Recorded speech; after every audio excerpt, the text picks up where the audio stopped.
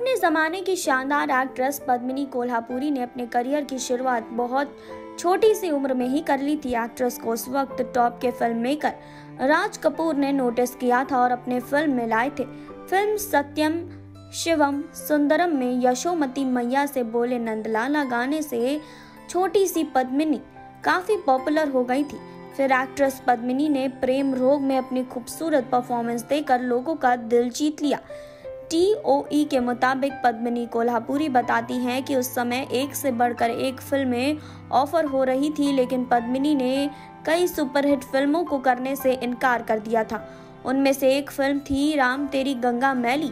जी हाँ इस फ़िल्म में राजीव कपूर और मंदाकनी ने लीड रोल प्ले किया था।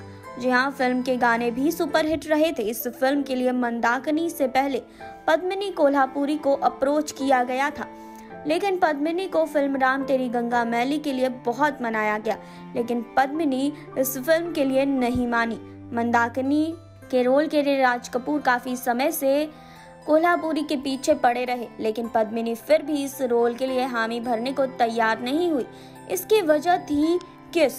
फ़िल्म में एक सीन था जिसमें पद्मिनी और राजीव कपूर के बीच किसिंग सीन फिल्माया जाना था। उस सीन के बारे में जब पद्मिनी को पता चला तो उन्होंने उस रोल को ठुकरा दिया। जी हाँ इस बारे में खुद पद्मिनी बताती हैं कि फ़िल्म में एक किस सीन था जिसे मैं नहीं करना चाहती थी। बात सिर्फ़ राजीव के साथ किस करने को लेकर नहीं थी। बात सिर्फ़ ये थी कि मैं कंफर्टेबल नहीं थी स्क्रीन पर किसी को किस करूँ। पैतालीस दिनों के शेड्यूल के बाद मंदाकनी संग काम करते हुए एक बार राज जी ने मुझसे पूछा था कि अगर मैं करना चाहूँ तो हाँ कह सकती हूँ। पद्मिनी कहती हैं कि उनके साथ राज कपूर इस फ़िल्म को रीशूट करने तक को तैयार थे। लेकिन तब तक पद्मिनी के पास और भी ज़्यादा प्रोजेक्ट्स आ चुके थे जिनको लेकर वह कमिटमेंट दे चुकी थी। वो बताती हैं कि हालाँकि इससे कभी भी उनके रिश्तों में कोई फ़र्क नहीं आया। राज कपूर पद्मिनी से कभी नाराज़ नहीं हुए, लेकिन फिर पद्मिनी को राज कपूर ने ही ना ऑफ़र नहीं की थी। इसके पीछे की वजह एक्ट्रेस ने बताई, क्योंकि तब तक मेरी शादी हो चुकी थी।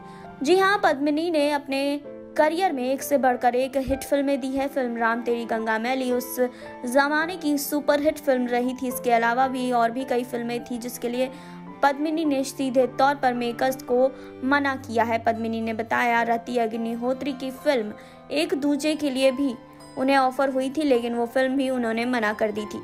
तो आपको इस पर क्या कहना है? कमेंट बॉक्स में बताइए, जुड़े रहिए हमारे साथ। नेक्स्ट नाइन लाइफ से सुरभि की रिपोर्ट।